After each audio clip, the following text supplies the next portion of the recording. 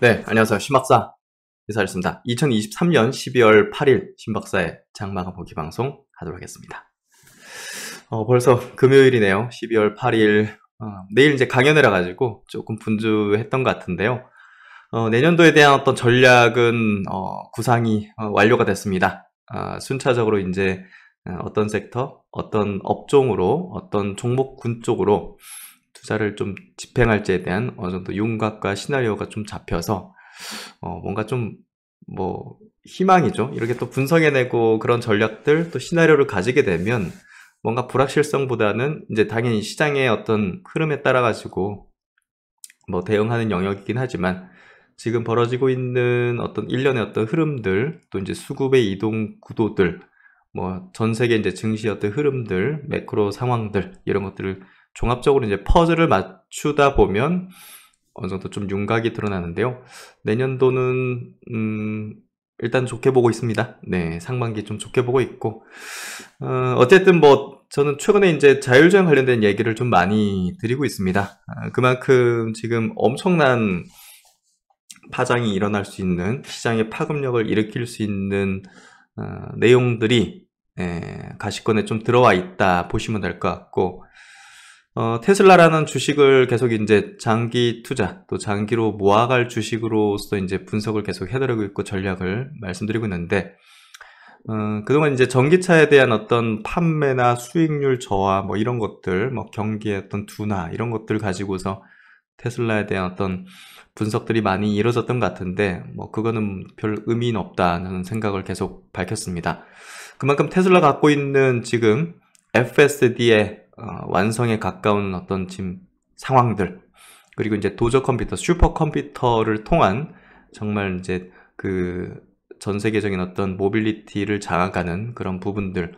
결국 이제 테슬라의 FSD 완성은 ChatGPT 충격 그 이상이 될 것이라고 보고 있습니다. 어, 거기에 기반해서 테슬라는 매우 저평가이면서 또 지금 자율주행 관련된 어떤 모멘텀은 어, 상당히 지금 어, 폭발적인 어떤 가능성들을 내포하고 있는 그런 흐름이 되고 있습니다. 결국 챗 GPT 발표와 함께 빅테크들의 경쟁이 본격화되면서 엔비디아가 아, 큰 수혜를 받으면서 일단 1차적으로 이제 거기 뭐 GPU 엄청나게 필요하니 예, 그런 기업이 이제 아, 엄청난 퍼포먼스를 냈는데요. 결국은 테슬라의 FSD 완성에 대한 발표와 이제 빠른 보급 지금 뭐 40만 대 정도가 지금 하면서 주행 데이터를 수집하고 있는데 이게 수, 수백만 대 쪽으로 이제 어, 정식 배포가 된다면 어, 그 파급력 자체는 어, 우리가 상상하기 좀 어려울 정도의 어떤 흐름이 전개될 수 있다고 봅니다. 그만큼 챗GPT로 인해서 올해 시장의 어떤 화두 또 메가 트렌드가 형성됐던 건 이제 자율 주행의 에, 충격 파동으로 이어지는 그런 음, 미국 중심의 또 이제 글로벌의 어떤 메가 트렌드가 형성되는 그런 전개가 빠르게 될 걸로 예상이 되고 있습니다. 이런 부분들을 종합해서 오늘의 시장도 한번 체크해보고 필승의 전략 한번 세워보도록 하겠습니다. 시장 정리부터 해보죠. 오늘 코스피 지수 1% 좋았습니다. 1% 상승, 코스닥도 2% 상승, 거래대금은 양시장 모두 8조 내 정도였고 상승 종목수 코스피 500 종목 정도, 코스닥은 1000 종목 이상 상승했고 오늘 수급 구도도 뭐 완벽했습니다. 코스피 외국인 2천억, 코스닥도 거의 2천억 가까운 순매수했고요. 기관도 이제 코스피 쪽에서 4천억대, 기관 그 코스닥에서도 2천억대, 선물도 8천 계약 이상을 외국인들이 이제 순매수를 해줬고요. 고객 예수금 48조, 신용융자 잔고는 17조 3천억. 어제 미국장이 이제 나삭 중심 1% 1.3% 상승했고 S&P 0.8%, 다우가 0.17% 상승해서 어, 성장주 중심의 어떤 강세 흐름을 냈고요. 오늘 니케이는 1.6% 빠졌고 홍콩도 약보합 정도, 대만은 0.6% 상승, 상해 증시는 강보합 정도. 한국 증시가 최근에 좀 강한 기조의 흐름을 좀 내어주고 있죠.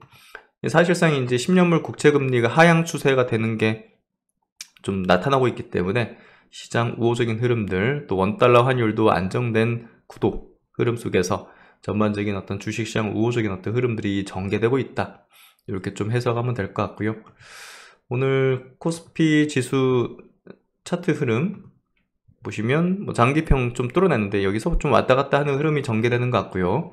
코스닥 증시는 오늘 좀 양봉을 좀 세웠습니다. 그래서 이제 2차 전지에 쏠렸던 수급이 좀 분산화되면서 다른 많은 섹터나 종목 쪽으로 이제 이동을 이런 구간에서 이제 전개시켰고 이제 새로운 파동을 위한 어떤 준비 단계 흐름을 보이고 있다. 이렇게 좀 해석하면 될 것 같습니다. 그래서 전체적인 어떤 시장 구도 흐름들도 내년을 향해 있는 상당히 우호적인 어떤 흐름 구도가 좀 만들어지고 있고요.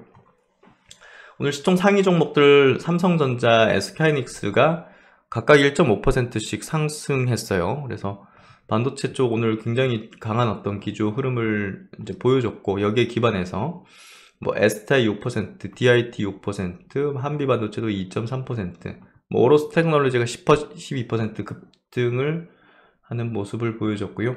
동진 세미캠 또 이제 뭐 솔브랜 같은 회사들도 이제 올랐고 제우스 10% 상승 그래서 하나 마이크론도 3.5% 상승해줬고 이수페타시스도 7.8% 상승을 해줬습니다.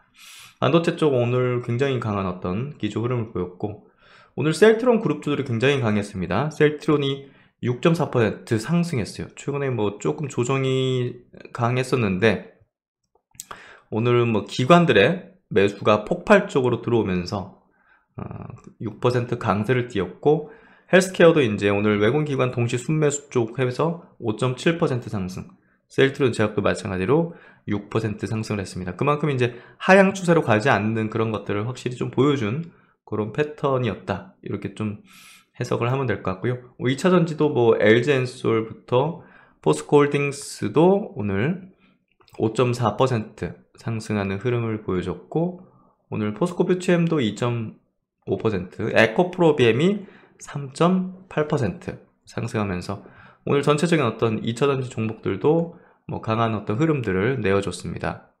오늘 뭐 시총 상위수들은 뭐 전반적으로 그 좋은 어떤 흐름들을 좀 내어줬고 뭐 삼성 SDI 같은 기업들도 강세였고요. L전자가 최근에 조금 좋지가 않습니다. 최근에 이제 기관이 굉장히 대량 매도를 하는데요. 어, 뭐 전장사업부 물적 분할 뭐 이런 뭐 루머 얘기가 흘러나온 게 있긴 한데 아직 확인된 건 아니고 어쨌든 뭐 최근에 좀 좋지 않은 흐름들을 내고 있어서 좀 주시를 좀 하고 있는 그런 부분이고요. 코스닥 쪽은 오늘 뭐 에코프로뱀 에코프로 뭐 오늘 다 강세였고 HLB가 오늘 5% 상승한 것도 좀 의미 있었습니다. 오늘 장기 평선을 좀 돌파하고 또 이제 기관 외국인들 쌍끌이 이제 순매수하는 것들 요 기사가 좀 컸던 것 같은데요. 어, HLB가 미국 36개 주에서 의약품 판매 준비가 완료가 됐다. 지금 뭐 미국 자회사 엘레바가 이제 의약품 만매 준비를 마쳤다고 음, 이제 발표가 좀 됐고 미국 뉴저지 보건부로부터 판매 허가를 처음 취득한 이후 6개월 만에 36개 주를 판, 넘어서며 판매 준비의 속도가 붙는 모습이다 라고 이야기를 하고 있고 어, FDA 이제 허가 절차 이제 내용들이 좀 나올 건데 내년 상반기 그 내용이 좀 모멘텀으로 좀 작용할 가능성이 매우 높은 그런 흐름이 좀 전개되고 있습니다. 오늘 뭐 레인보 로보틱스도 플러스 최근에 로봇 주가 그래도 나쁘진 않습니다. 예. 로봇은 뭐 뭐랄까 앞으로 10년에 영원한 그 뭐 강한 예, 어떤 흐름을 좀 낼 걸로 예상이 되는 그런 대표적인 업종이고 두산 로보틱스도 오늘 3.7% 강세 흐름을 좀 내어줬습니다. 반도체, 뭐 바이오 이제 시총 상위 종목들, 뭐 2차 전지, 뭐 전체적으로 다 좋았습니다. 오늘 뭐 쌍끌이 외국인 기관의 순 매수 기조 속에서 전체적인 어떤 시장 흐름이 좋아지고 있고 우호적인 흐름들을 내어주고 있는 그런 부분들을 볼 수 있고요. 음, 오늘 로봇주 쪽으로도 뭐 대부분 강세였고 최근에 자율주행 쪽 오늘 뭐 넥스트 칩이라든지 퓨런티어 같은 회사들도 뭐 강세였고 칩스앤미디어 뭐 on-device 쪽이기도 하지만 자율주행 쪽이기도 하죠. 이런 기업들 현대 오토에버 HL 만도도 각각 1.8%씩 상승을 좀 하는 그런 모습을 보여줬습니다. 그래서 최근에 이제 어, 시장의 어떤 수급이 조금 많이 내려앉아 있는 쪽들로도 어, 이동하는 모습들이 포착이 되고 있고 스마트 레이더 시스템, 슈어 소프트 테크 같은 신규 상장된 또 자율주행 퍼포먼스가 있는 이런 기업들, 이노 시뮬레이션 이런 기업들도 강세 흐름을 좀 내어줬고요. 오늘 뭐 비만 쪽은 뭐 약보합 정도입니다. 한미약품이라든지 이런 쪽 동아 ST도 보합 정도 동아 ST는 오늘 0.02주 주식 배당한다는 발표를 해줬네요. 굉장히 좀 저평가 영역이었다고 발, 이제 분석을 좀 해드렸던 종목이죠. 이현양도 오늘 플러스 이어가면서 어, 오늘도 뭐 기관의 매수세가 이어졌네요. 그래서 좀 특이한 거래를 하는 것 같은데 여기서 뭐 계속 팔고 여기서 갑자기 사고 예. 하여튼 뭐 이 수급의 구도는 뭐 또 바람에 따른 문제기도 하니까요 뭐 왔다 갔다 하는 것 같습니다 예. 투자에 대한 어떤 종목에 대한 관점을 명확히 뭐 수급 변동에 따라서 뭐 팔면 안 좋게 보고 사면 좋게 보고 이런 거는 좀 옳지 않죠 그래서 최근에 수급 좋아지는 모습들 전개시키고 있고 오늘 이제 게임 업종, 플랫폼 업종도 최근에 좋습니다. 뭐 금리 계속 하향되는 추세 보이면서 네이버 또 이제 카카오도 2%씩 강세는데요. 오늘 네이버 쪽은 좀 의미 있는 게 그 이제 스트리밍이죠. 네. 트위치가 이제 한국 철수하는데 이게 이제 네이버가 떠오르죠. 네. 이걸 네이버 쪽에 판다는 얘기도 있고, 네. 뭐 인수한다는 얘기들도 있고, 어쨌든 그 트위치 어떤 이제 철에는 어떻게 보면 이제 뭐 아프리카 TV라든지 뭐 카카오 같은 회사들 그 네이버 카카오 같은 회사들에겐 상당히 또 우호적인 어떤 부분들을 주게 될 것 같습니다. 오늘 NC 소프트는 좀 큰 폭으로 빠졌는데요. 이제 결국 이제 그 sell-on이죠.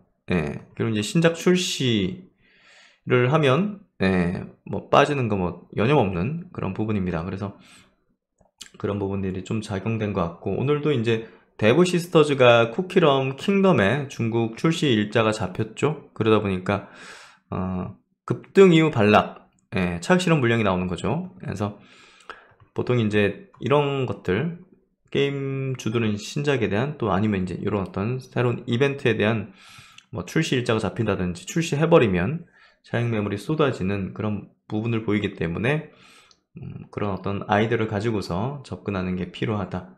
KINX 같은 기업은 뭐 꾸준하게 우상향 기조의 흐름을 내면서 장기 이제 성장의 어떤 흐름을 주가에 꾸준히 반영하고 있는 그런 흐름들을 보여주고 있습니다. 그래서 오늘 뭐 전체적으로 뭐 넥슨 게임즈, 위메이드, 카카오 게임즈, 펄어비스, 뭐 넷마블 이런 게임 업종의 이제 주요 종목들, 크래프톤 오늘 좀 조정받았네요. 그래서 이런 종목들 강세를 띄었고 하이브 최근에 굉장히 좋죠. 네, 콘텐츠 쪽으로는 top pick 기업이죠. 디어유도 이제 콘텐츠 플랫폼으로는 유망한 기업으로 계속 꼽고 있는 그런 종목입니다. D&C 미디어라든지 뭐 이런 어떤 웹툰 관련된 기업들도 꾸준하게 최근에 좋은 어떤 흐름들을 내어주고 있습니다. 전반적으로 굉장히 좋고요. 오픈 엣지, 퀄리타스 반도체 이렇게 on-device 관련된 기업들도 오늘 강세를 띄었습니다. 전체적으로 다 좋아요. 네.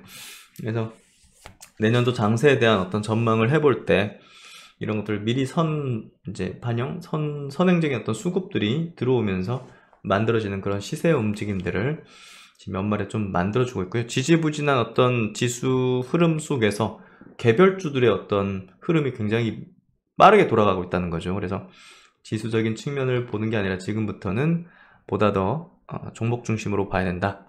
그래서 이제 아 해외 기업을 좀 체크를 해드릴게요. 테슬라인데요. 테슬라가 이제 어, 2021년도 400불까지 급등했죠. 코로나 이제 모멘텀과 함께 이제 엄청난 판매량 증가, 전기차의 시대. 그 뒤로 이제 둔화되고 이제 이익률 하락하고 이익률 하락이 이제 의도한 거니까 100불까지 떨어졌어요. 이때 기억하실지 모르겠지만 제가 이제 strong buy 이제 영상을 올려드렸는데 이때 뭐 엄청 났습니다. 이제 뭐 트위터 인수부터 해가지고 막 뭐 그냥 다 악재로 갖다 붙이는 거죠. 우리가 이제 이 지나온 이 이것들을 그 과정들을 잘 기억을 하시는 게 중요해요. 어, 그냥 이런 구간에서는 그냥 모든 걸 안 좋게 바라보는 그런 어떤 투자의 심리, 또 이제 오피니언의 어떤 감정적인 어떤 부분들, 음, 언론들, 뭐 이제 보고서들 이런 것들 그리고 지금 보십시오. 300불까지 갔다가 지금은 중간 정도 된 240불이란 말이에요.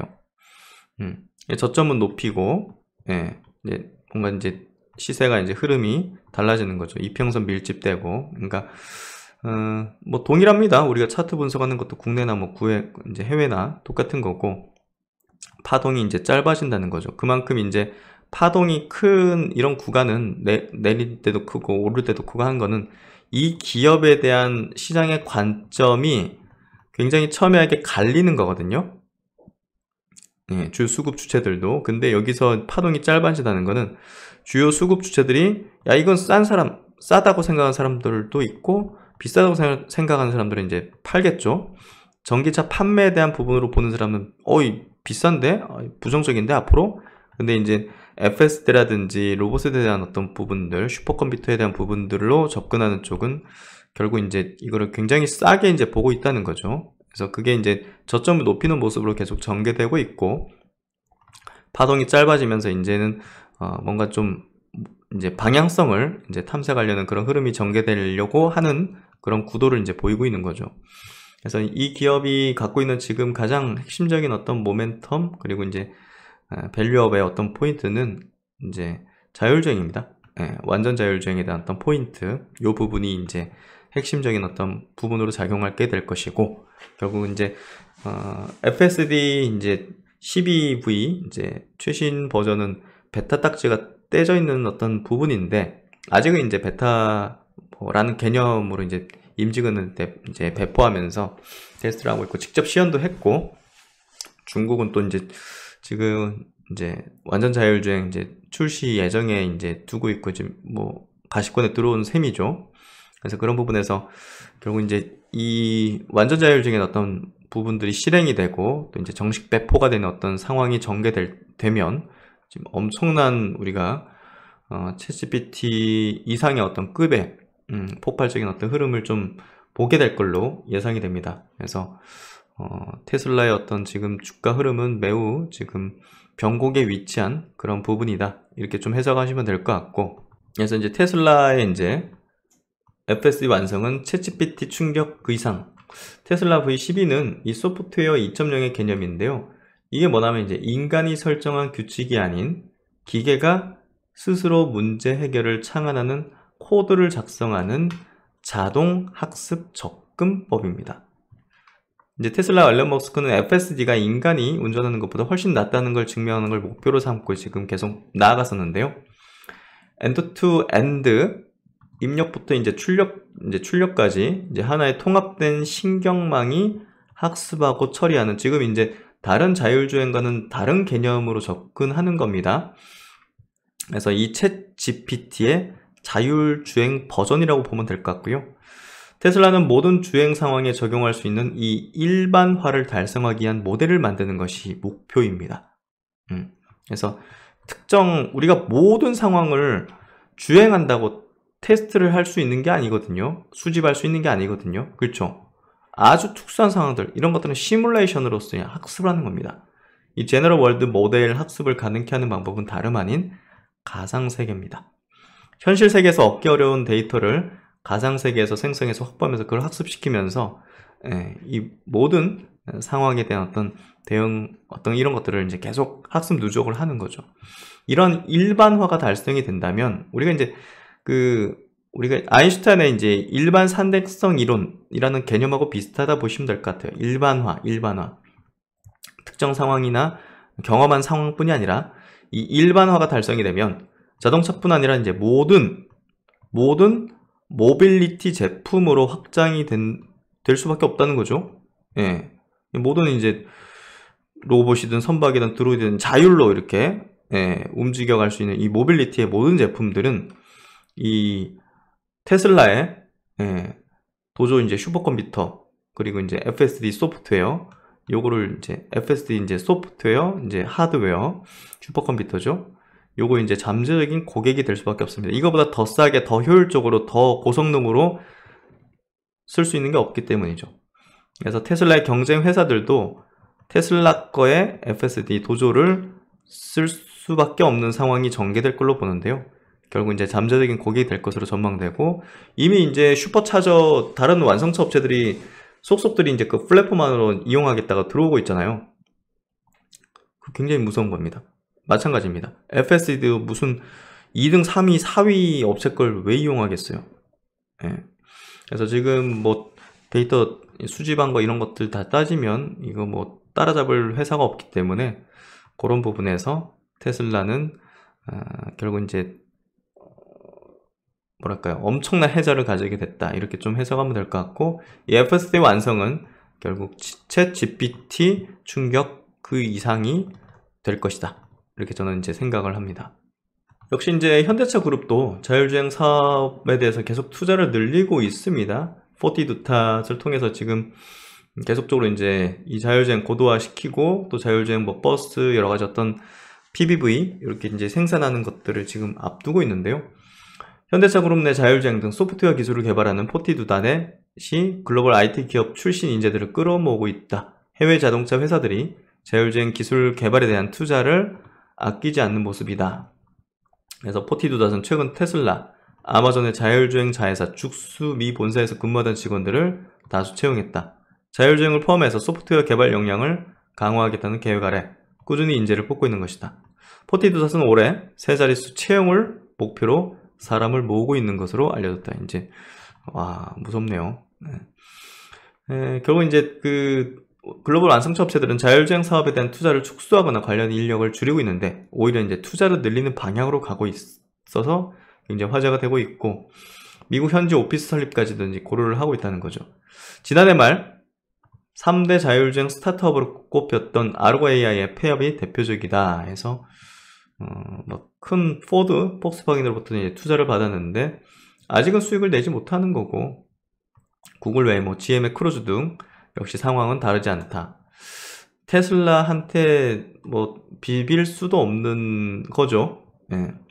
그래서 그런 부분에서 결국 이제 테슬라가 압도적인 이 시장을 예, 장악을 하게 될 거기 때문에 우리가 자율주행 투자는 테슬라에 대한 투자를 하면 된다고 생각하면 됩니다. 현대차 그룹이 자율주행 레벨 3를 아직까지 양산차에 적용하지 못하고 있는 것으로 미뤄볼 때 관련 기술 개발에 당초 예상보다 시가, 개발이 시간이 더 들어갈 것이 확실해 보인다. 그러나 현대차 그룹은 투자를 확대하는 쪽으로 방향을 잡았다. 전동화 시대에는 first mover가 되겠다는 의지로 계속 정의선 회장이 이제 추진을 하고 있고요. 오히려 소프트웨어 주도권을 확보해서 경쟁자들을 제칠 기회로 판단한 것으로 보인다. 보다 완벽한 SDV를 만들 수 있는 역량을 확보해서 글로벌 경쟁에서 앞서 나가겠다. 이번 CES가 24년 CES가 굉장히 기대됩니다. 이런 것들을 발표를 할 거기 때문에 한편 전기차 1위 테슬라도 자율주행 서비스를 포기하지 않았다. FSD 12는 테슬라의 완전 자율주행 목표에 가장 가까운 형태의 FSD로 현행 버전인 V11에 순수 인공지능 주행 기술이 탑재된 걸로 전해졌고 이제 공개할 예정에 임박했습니다. 이 부분이 굉장히 중요한 또 주식시장에서 어떤 포인트가 될 걸로 보기 때문에 음, 이 부분들을 최근에 계속적으로 강조를 드리고 이야기를 드리고 있습니다. 테슬라의 주가도 지금은 좀 병곡에 위치한 그런 구도 흐름을 좀 보여주고 있다. 이렇게 좀 해석하면 될 것 같습니다. 네, 하여튼 오늘 외국인 기관 동시 순매수 쪽하고 수급 구도도 한번 좀 보도록 하죠. 코스피 삼성전자 2,600억 순매수입니다. 동시 순매수 외국인 기관 그리고 네이버 쪽, 또 포스코홀딩스 쪽, 그리고 카카오, 기아도 최근에 주가 흐름 굉장히 좋습니다. 그래서 이거 뭐 좀 흐름 자체가 이 신고가 흐름으로 전개되는 그런 모습을 띠고 있어요. 현대차도 최근에 흐름이 예, 나쁘지 않는데 기아가 훨씬 좋죠. 기아가 이렇게 되면 기아가 훨씬 더 지금 주가 퍼포먼스의 가능성을 높이고 있다고 해석할 수 있을 것 같고요. 삼성전기도 최근에 이제 장기평 뚫고 올라가는 전장에 대한 포인트인데요. 테슬라의 이제 오저원에 카메라 모듈 공급하는 것들이 작년에 좀 있었는데 그런 모멘텀 같이 연결되지 않겠는가 좀 생각이 됩니다. 하이브도 수급 계속 좋으면서 좋은 시세의 흐름을 내고 있고요.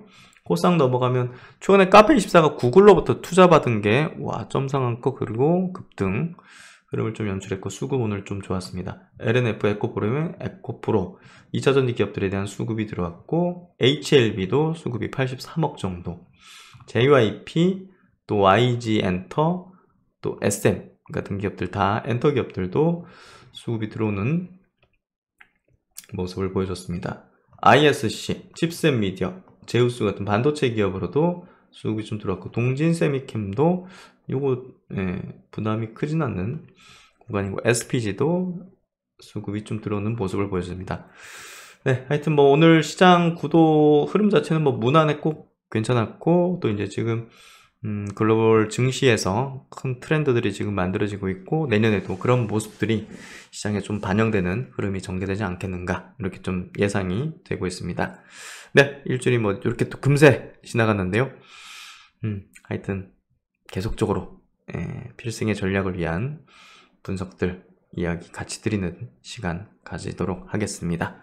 네, 내일 강연에 오신 분들 조심히 오시고요. 네, 아주 어, 흥미로운 시간 예, 만들어 드리고 또 어, 앞으로 이제 또 커다란 가치를 좀 창출할 수 있는 우리 모두 같이 만들 수 있는 나눔 인사이트 단 어떤 이야기도 같이 드려보도록 하겠습니다. 네, 편안한 저녁 시간 되시고요. 신박사님도 또 다음 시간에 뵙도록 하겠습니다. 감사합니다. 제가 처음으로 공식적인 어, 저의 이제 차트 심리 이론 강의를 이제 이렇게 집대성해서 어, 20시간짜리의 어, 강의로 이제 만들었는데요. 어, 팬 플랫폼 회사 이제 팬딩과 같이 협업을 통해서 어, 팬딩 사이트에 음, 강의를 올려두었습니다. 그래서 많은 분들께서 지난 가을부터 작년 가을부터 이제 들어주셨고 또 이제 많은 또 후기 남겨주셨는데요. 최근에도 한 이제 어, 수강자 분께서 이제 올려주신 내용입니다. 음, 심학사님의 강의를 일주일 동안 푹 빠져서 열심히 들었습니다. 주식 경험이 오래되었지만 감으로 했던 지난 날을 되돌아보면서 많이 반성을 했습니다. 이제 주식 인생의 첫 번째 스승님을 모시게 되었으니 평생 가르침을 배우며 열심히 공부하겠습니다. 어, 저는 이 부분이 좀 더 굉장히 감명 깊었던 것 같아요. 제 강의를 듣고 나서 안개가 많이 거친 것 같아. 음. 주식을 처음 시작할 때 저도 그랬던 것 같아요. 뭔가 좀 어, 이쪽 방향으로 가면 맞는 걸까? 네, 이쪽 이쪽 터널로 들어가면 분명히 출구가 있는 걸까? 네, 이쪽 구름을 안개 구름을 헤치고 나가면 어, 빛나는 어떤 세상이 있을 것인가라는 어떤 그런 것들. 음, 제 차트 심리 이론은 사실 이제 어떤 원리적인 부분인 거죠. 예, 우리가 어떤 뭐 종목이나 업종이나 산업이나 시장을 분석하는 거를 사실 뭐 뛰어넘어서 예, 원리적인 작동 원리죠. 예, 그 작동 원리에 대해서 이해를 하게 된다면 사실 굉장한 어떤 뭐랄까 자신감이라고 할까요? 예, 멀리서 이제 객관적으로 바라볼 수 있는 어떤 그 뭐 투시경, 암경, 예, 모든 걸 100% 맞출 수 있는 건 아니지만 그래도 어떤 방향으로 우리가 바라봐야 될지 시장이나 어떤 또 이제 어떤 수급 구도라든지 이런 것들을 볼 때 원리적인 측면에서 생각을 하면서 보다 더 대중과는 다른 어떤 그리고 메이저의 어떤 그 행동들 그리고 메이저의 어떤 패턴들이 어떤 방향으로 바닥을 형성하는지 아니면 고점에서 물량을 대중들한테 팔려고 올리는 건지 이걸 구분할 수 있는 거죠. 단순히 올라가는 게 좋고 떨어지는 게 나쁘고 하는 거는 단순히 그냥 대중적인 어떤 투자자일 뿐입니다. 하지만 그 속에 담겨 있는 예, 어떤 내용들, 어떤 이면들, 어떤 원리들, 작동 원리 등 예, 이런 것들을 좀 이해하는데 어, 큰 도움이 되실 거라고 생각하는데요. 그게 이제 전달됐던 게 아니었을까라는 생각이 듭니다. 앞으로 평생 해야죠. 투자라는 건 평생을 해야 되기 때문에 어떤 종목으로 수익을 많이 냈다고 어떤 특정 시점에 수익을 많이 냈다고 그게 끝이 아니죠. 그게 계속적으로 어, 활용할 수 있는 방법으로 했는지를 어, 깨닫는 게 필요할 겁니다. 그래서 단발성으로 주식을 투자하는 게 아닌 정말 어, 평생을 두고서 투자라는 어떤 행위를 우리의 인생과 같이 맞춰 나가면서 보조를 맞춰 나가면서 해 나가는 게 필요할 수밖에 없습니다. 그 길을 같이 가기 위해서는 분명 시장을 움직이는 어떤 원리를 이해하고 그 이론을 바탕으로 그 원리를 바탕으로 시장을 주식을 바라보면서 분석하는 게 필요합니다. 강의 한 번으로 신박사님의 모든 기법을 알 수는 없, 을 것 같아서 향후 10번 정도 정독을 할 예정입니다. 신 박사님만 알고 있었을 비기를 회원들에게 널리 알려주셔서 진심으로 감사드립니다. 홍익인간의 정신이 멀리 있는 게 아니라 신 박사님의 강의에 있다는 것을 느꼈습니다. 라고 힘이 되게 또 올려주셨습니다. 어, 차트 심리 이론을 조금 더 예, 업그레이드하고 향후에 이제 조금 더 어, 고난이도의 어떤 예, 조금 깊숙이 더 들어가 가지고 어, 그런 어떤 내용들도 향후에 좀 선보일 수 있는 시기가 있지 않을까 싶고요. 어, 결국 이제 우리가 투자를 통해서 큰 수익을 거두는 것은 강세장인데요. 예, 강세장이 오기 전까지 우리가 충분히 그 내공을 쌓아서 예, 행동으로 바로 즉각적으로 할 수 있도록 예, 이론적 탄탄함, 기준적 탄탄함, 그리고 시장의 어떤 작동 원리를 이해하는 그 단단함 예, 그런 것들을 갖고 있어야 될 것 같습니다. 그래야 확신을 가지면서 좀 강한 또 이제 투자의 어떤 베팅을 할 수 있고 그걸 통해서 계좌를 또 레벨업 할 수 있고 어떤 종목은 또 단기로 해야 되고 어떤 종목은 또 장기로 해야 되고 하는 구분을 확실하게 할 수 있을 거라고 생각합니다. 그래서 앞으로도 많은 분들께서 차트 심리로 이론을 통해서 철학적 기준을 탄탄하게 만드셨으면 좋겠다는 생각이 들고요. 어, 강나루님께도 이렇게 또 후기 남겨주셔서 감사드리는 말씀 전하도록 하겠습니다. 제그 어, 영상의 댓글 보시면요, 예, 강의를 수강할 수 있는 이제 URL 주소를 이제 남겨놨는데요. 그 커리큘럼에 대해서 한번 간략하게 체크해 드릴게요. 결국은 100억 주식 자산가로 가기 위해서는 정말 탄탄한 어떤 기준을 갖고서 어, 다양한 시장에 대해서 대응할 수 있는 방법론을 전략들을 가질 수 있어야 됩니다. 그래서 여기 이제 미리 보기 영상 이건 누구나 볼 수 있게 열어놨는데요. 카카오에 대해서 제가 갖고 있는 그 차트 심리 이론상의 어, 7가지 아이템 법칙의 실제 적용 사례를 통해서 어, 메이저 세력들이 매집한 구간들 주가가 띄우고 또 대중에게 팔기 위한 어떤 액션들이 어떤 어, 메커니즘으로 이제 프로세스로 이제 만들어졌는지를 통해서 대중과 어떻게 반대로 우리가 액션을 취해야 돈을 벌 수 있는지에 대해서 에, 쉽게 에, 카카오 종목을 통해서 적용 사례를 어, 분석해 드렸습니다. 이 내용을 보시면 너무나 명확히 이해가 가능하실 거라 생각하고요. 차트 심리 이론 강의 를 들어가기 전에 앞서서 우리가 이해하고 있어야 될 예, 여러 가지 어떤 내용들, 인생 설계에서 주식 투자의 어떤 의미가 어떤 것인가, 재산을 물려받지 않고 자수성가하기 위해서 어떤 방법론을 찾아서 들어가야 되는가, 그리고 신 박사가 그동안 어, 가졌었던 고수 투자자와의 어떤 조후 이제 조언 그리고 가르침 이런 것들을 통해서 어떤 시행착오를 통해 에, 예, 앞으로 이제 어, 개인 투자자들이 성과를 내지 못했던 이유를 극복할 수 있는가 그걸 뛰어넘어서 메이저 눈을 가지기 위해서 주식시장의 실상에 대한 어떤 깨달음을 어떤 것들을 가질 수 있는가 이런 것들을 좀 음, 이해시켜드리는 시간을 가지고요. 또 이제 100억으로 가기 위해서 어떤 방법론을 가지고서 어떤 순서로 하는 건가 뭐 처음부터 막 장기 투자 뭐 이런 기보다는 예, 우리가 뭐 천만 원을 가지고서 100억으로 가기 위해서는 순서를 어떻게 가지는 게 필요할 것인가.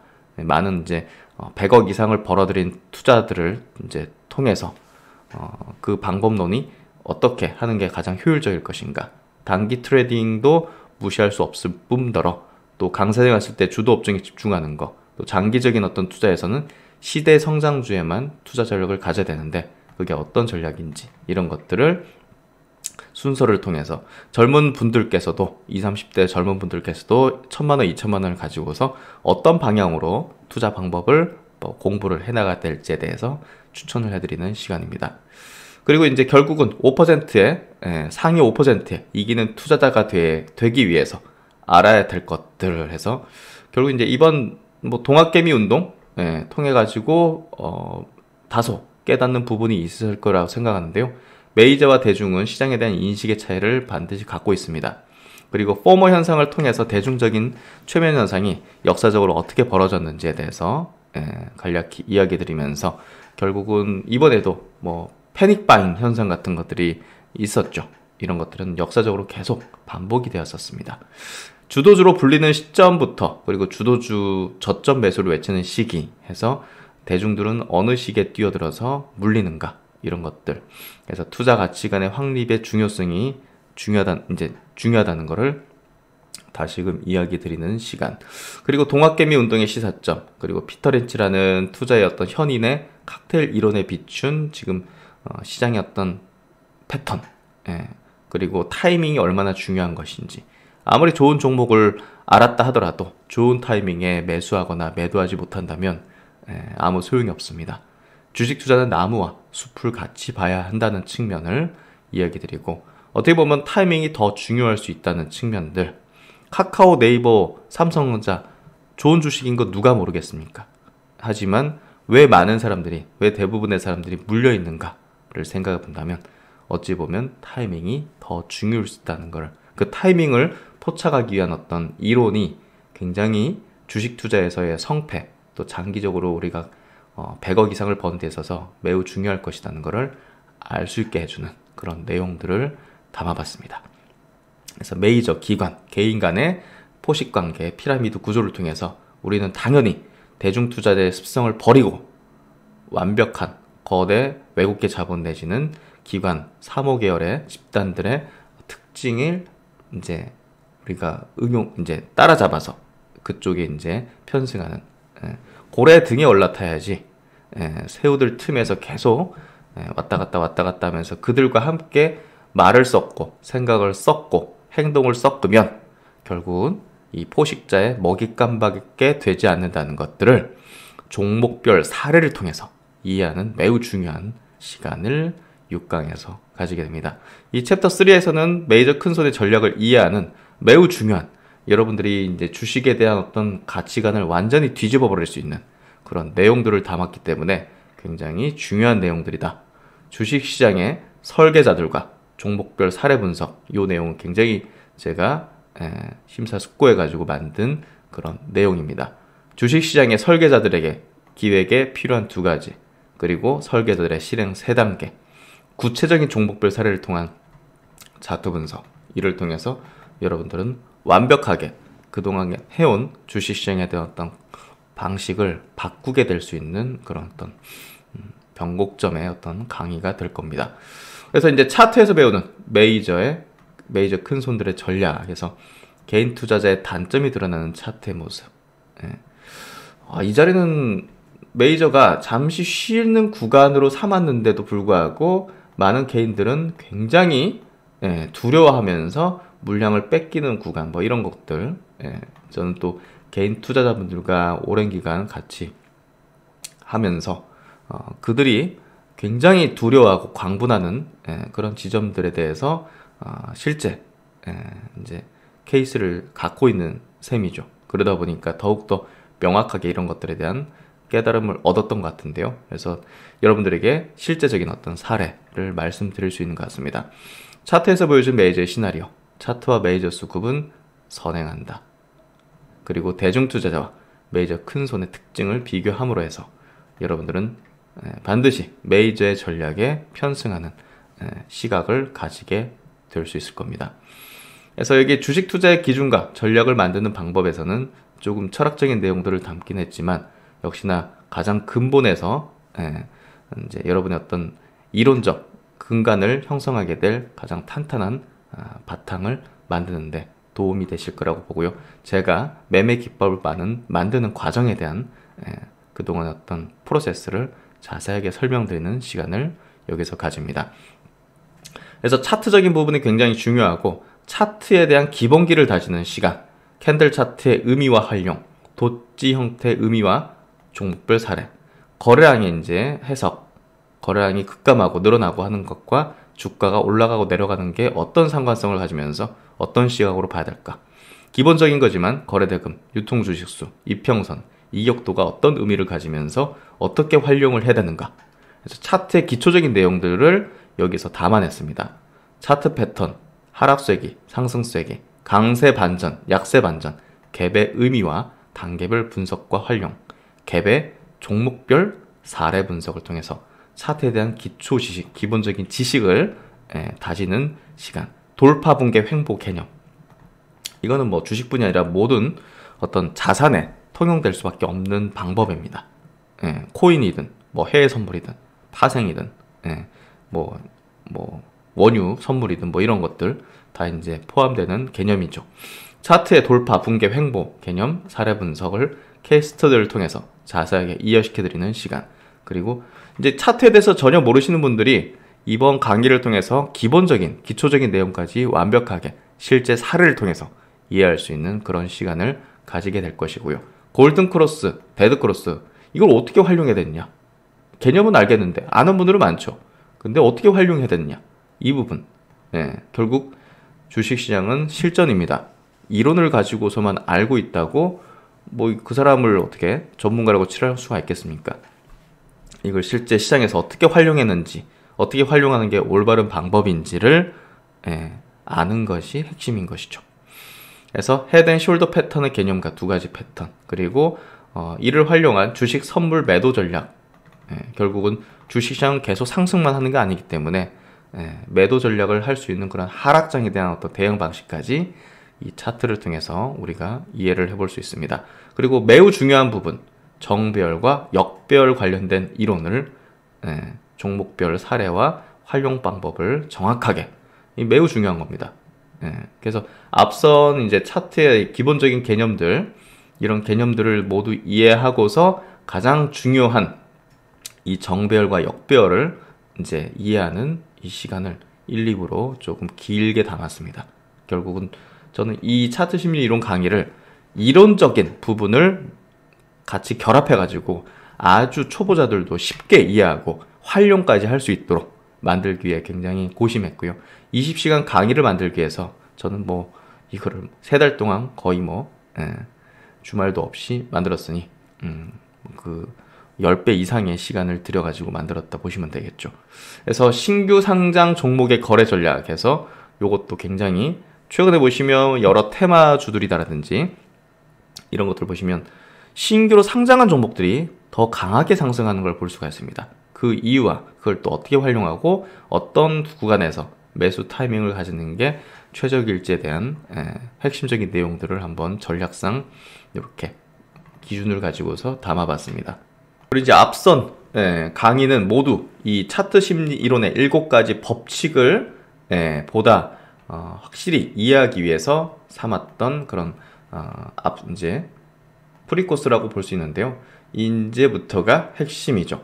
차트 심리 이론의 아이템, 결국 제 주식 이론의 결정체고요. 시장의 불변적인 원리를 일곱 가지 법칙으로 에, 설명을 했습니다. 종목의 선택과 비중의 조절, 그리고 매수 매도 타이밍을 결정할 수 있는 그런 기준점을 이제 이 아이템 기본 일곱 가지 법칙을 통해서 이해할 수가 있고요. 21년도 1월이 굉장히 중요한 결정했던 시점이었던 이유에 대해서 명확하게 이 이론으로 설명을 해드리고 있습니다. 그래서 아이템 이론이 뭐 1번, 2번, 3번, 4번, 5번, 6번, 뭐 6번은 지금 3부로 굉장히 길게 돼 있죠. 정확한 어떤 종목별 사례, 분석, 또 활용하는 방법까지 예, 타이밍에 대한 부분을 기준점을 가질 수 있게 하는 또 종목을 어, 선정하는 기준을 가질 수 있는 그런 부분들 결국은 시대 성장주하고 아이템이 결합될 경우에는 주도주가 탄생하게 되는데요. 최근에 이제 급등했던 에코프로, 에코프로 BM, 또 코스모 화학이라든지 나노 신소재 같은 기업들이 아이템 법칙에 정확히 부합했던 그런 종목군이었죠. 그래서 결국은 차트 이론이지만 이 차트 이론은 당연히 시대 성장주하고 결합을 했을 경우 가장 폭발적인 성, 이제 상승을 하는데 그 이유는 당연히 메이저들도 이런 그 성장주, 시대의 성장주 쪽에서 매집을 하기 때문이죠. 그러니까 물량을 가장 많이 예, 가져가려고 하기 때문에 그게 이 법칙에 포착이 되는 거라고 보시면 될 것 같습니다. 메이저 포착 기술 메이저 포착 법칙. 음, 그거라고 보시면 되겠죠. 그래서 이 아이템 법칙을 통해서 어, 21년도 1월달 셀트론 그룹에 대한 매도 의견을 드렸던 이유였는데요. 이거에 대해서 자세하게 설명을 하고 있습니다. 매도 결정의 근거는 당연히 차트 심리 이론이었고 대중적 대중적인 반응을 통해서 천정권의 시그널을 파악을 했었고 셀트론 헬스케어의 와 제약의 시작의 끝은 아이템의 출연이었다는 점. 그래서 매도 타이밍에 대한 부분도 이렇게 기준점을 두고 예, 설명하는 이런 어떤 내용들을 담았고요. 그리고 중기 추세, 중기 추세 하락을 시작하는 어떤 어떤 패턴들, 이제 전환점들, 그리고 바닥을 형성하고 이 바닥에서 이제 상승 추세로 전환하기 전에 나타나는 현상들 이런 것들을 자세하게 과거 사례를 통해서 예, 설명을 드렸습니다. 이를 통해서 여러분들은 최근의 시장이 바닥점을 형성하고 있었고 추세의 전환점을 어, 만들고 있었다는 것을 이해하실 수가 있고 저희 이제 멤버십 회원분들께서는 강의를 수강하신 분들께서는 그게 이론적으로 이해가 되셨기 때문에 에, 강하게 투자를 하실 수 있었을 거라고 생각합니다. 그래서 제가 증시의 바닥권에서 강의를 론칭한 이유는 이 기회를 반드시 살리기 위해서는 이론적인 확신이 있어야 되, 된다는 거. 예, 그 부분에 있어서 강의를 론칭했고, 그걸 잘 이해하시고, 그리고 활용하신 분들은 지금, 어, 그래도 상당한 계좌의 회복과 또 자신감, 그리고 앞으로 계좌가 레벨업 될 거라는 희망을 확실히 가지고 계실 거라고 생각합니다. 그런 부분에 있어서 결국은 차트 심리 이론은 여러분들에게 희망과 또 계좌를 이제 계좌 레벨업을 통해서 자산가로서의 어떤 길을 갈 수 있다는 예, 그런 어떤 확신을 가질 수 있다는 거죠. 그래서 주도 업종 집중 투자 전략은요, 결국은 주도주에 집중 투자를 해야 된다. 그래서 최근에 2차전지 업종이 신고가 흐름을 내는데요. 뭐 저희는 당연히 이거를 미리 감지했고 미리 포착을 했고 차트 심리 이론에 의해서 이해를 했기 때문에 많은 분들께서 수익을 내고 계신 거라고 봅니다. 그래서 결국은 낮은 지점에서 주도주 선침의 전략을 위해서는 이 주도 업종의 집중 투자 전략을 이해를 하고 있어야 된다. 그래서 그 뒤로 이제 실전 투자 활용에 대한 에, 설명들을 이렇게 또 이야기를 드리면서 총 20시간에 걸치는 20시간을 넘는 차트 심리 이론의 강의를 이렇게 좀 올려드렸고요. 이 내용을 통해서 여러분들은 확실한 자신감 그리고 희망 100억 주식 자산가로 갈 수 있다는 그런 로드맵을 스스로 만들 수 있을 거라 봅니다. 그 동행길 신박사가 같이 하도록 하겠습니다.